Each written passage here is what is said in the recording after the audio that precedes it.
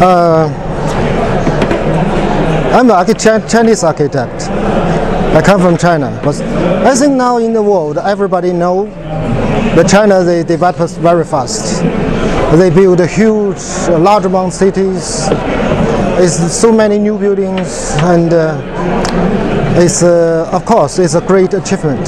But on the side, on another side, maybe I think for the architect they should more deep think about what really happened.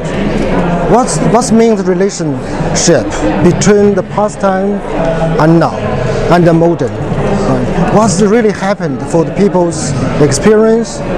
Do the people that they still keep the, the memory for their life, for their history, for their culture? What's the identity identity for the people's life? So that's the why. That's the meaning. I think it's my work. I, I want looking forward a different way. It's different from the modern architecture way.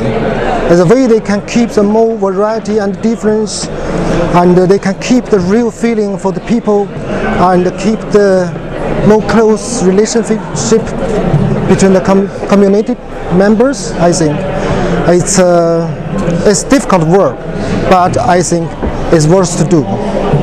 Okay.